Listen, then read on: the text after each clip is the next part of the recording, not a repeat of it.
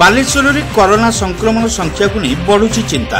ଚବିଶ ଘଣ୍ଟା ମଧ୍ୟରେ ଚିହ୍ନଟ ହେଲେ ଶହେ ଚଉଦ ନୂଆ କରୋନା ସଂକ୍ରମିତ। ବାଲେଶ୍ୱର ଜିଲ୍ଲାରେ କରୋନା ସଂକ୍ରମଣ ସଂଖ୍ୟାକୁ ନେଇ ସାଧାରଣରେ ଚିନ୍ତା ବଢ଼ିବାରେ ଲାଗିଛି।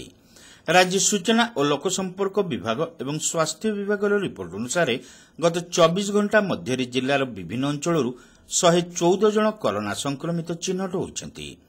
ଚିହ୍ନଟ ସଂକ୍ରମିତଙ୍କ ମଧ୍ୟରେ ସହରର ସୁନହଟରୁ ତିନି ଜଣ ରାଣୀପାଟଣାରୁ ତିନି ଜଣ ସହଦେବଖୁଣ୍ଟାରୁ ଦୁଇ ଜଣଙ୍କ ସମେତ ଆଜିମାବାଦ ବିସିସିଏନ୍ ରୋଡ୍ ଆଇଟିଆଇ ଛକ ଗୋପାଳଗାଁ ଶୋଭାରାମପୁର ପ୍ରଭୃତି ଅଞ୍ଚଳରୁ ଜଣେ ଲେଖାଏଁ ସଂକ୍ରମିତ ରହିଛନ୍ତି। ତେବେ ଦିନକରେ ବାଲେଶ୍ୱର ପୌରାଞ୍ଚଳରେ ମୋଟ ତେର ଜଣ ସଂକ୍ରମିତ ଚିହ୍ନଟ ହୋଇଛନ୍ତି।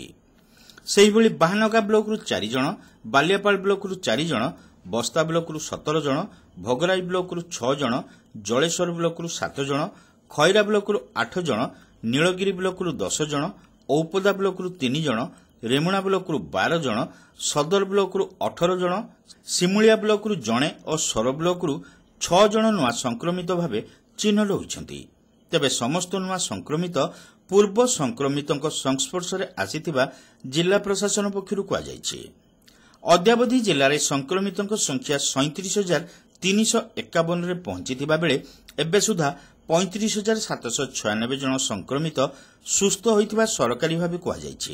ଏବେ ସକ୍ରିୟ ଥିବା ଏକ ହଜାର ତିନିଶହ ସତୁରି ଜଣ କରୋନା ଆକ୍ରାନ୍ତଙ୍କ ମଧ୍ୟରୁ ଏକ ହଜାର ଦୁଇଶହ ପଇଁତିରିଶ ଜଣ ଗୃହ ସଙ୍ଗରୋଧରେ ଏବଂ ଶହେ ପାଞ୍ଚ ଜଣ କୋଭିଡ୍ ହସ୍ପିଟାଲ ଓ କୋଭିଡ୍ କେୟାର ସେଣ୍ଟରରେ ରହି ଚିକିତ୍ସିତ ହେଉଛନ୍ତି।